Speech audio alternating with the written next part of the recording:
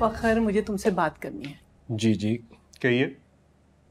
मेहमानों के सामने खुद को कंट्रोल में रखना।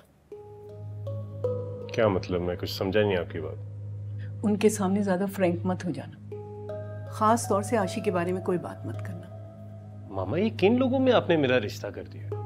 अब मैं अपने होने वाली बीवी के बारे में बात भी नहीं कर सकता। शरीफ लोगों में तुम्हारा रिश्ता होने जा रहा है। और आशी जैसी नेक लड़की तुम्हारी बीवी बनने जा रही है। वरना तुम्हारी पसंद? तुम्हारी पसंद तो हमेशा ऐसी रही है कि घर लाना तो दूर की बात।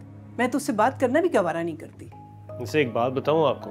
जिस तरह का आशी का मिजाज है ना शादी के बाद आप ही उससे बात करेंगे। मेरा और उसका मिजाज तो मिलने वाला नहीं तो बदलो अपने मिजाज को।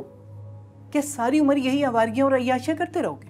अगर आशी आपको इतनी अच्छी लगती है तो आपका दिल नहीं करता उससे मिलने को? मतलब?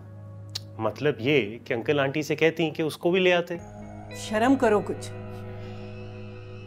हैरत होती है मुझे आप लोगों पे। ऐसा क्या कह दिया मैंने जो शर्म करूँ?